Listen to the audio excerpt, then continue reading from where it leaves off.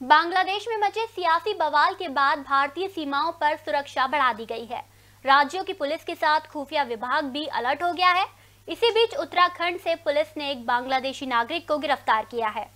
उत्तराखंड के रुड़की से पुलिस ने बांग्लादेशी नागरिक को गिरफ़्तार किया है। गिरफ्तारी के बाद से खुफिया विभाग और पुलिस अलर्ट मोड पर है।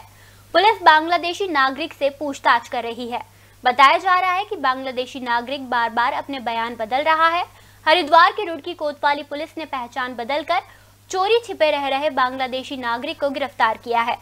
ढंडेरा गाँव क्षेत्र में कुछ लोगों ने एक संदिग्ध व्यक्ति को बीईजी आर्मी एरिया के आसपास घूमते हुए देखा। लोगों को इसकी बोलचाल पर शक हुआ, जिसके बाद लोगों ने इसकी जानकारी पुलिस को दी। सूचना मिलते ही पुलिस मौके पर पहुँची और संदिग्ध को पूछताछ के लिए कोतवाली थाने लेकर आ गई। रुड़की कोतवाली क्षेत्र अंतर्गत बीजी आर्मी एरिया के पास एक संदिग्ध व्यक्ति के दिखने की सूचना मिली। जिस सूचना पर उसे हिरासत में लेकर उससे पूछताछ करने की कोशिश की गई तो वो केवल बांग्ला भाषा भाषी था और बांग्लादेश का होना बता रहा था।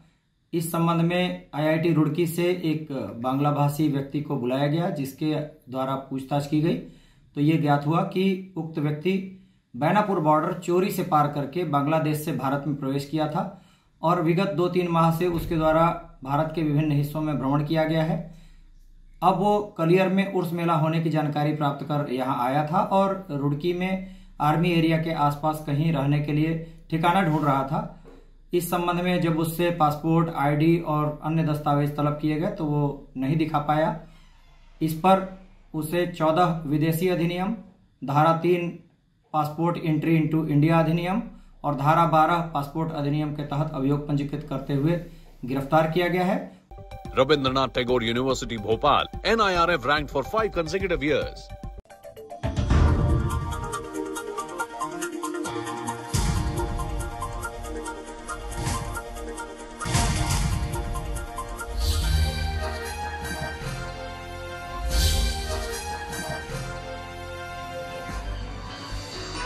आप देख रहे हैं दखल न्यूज़।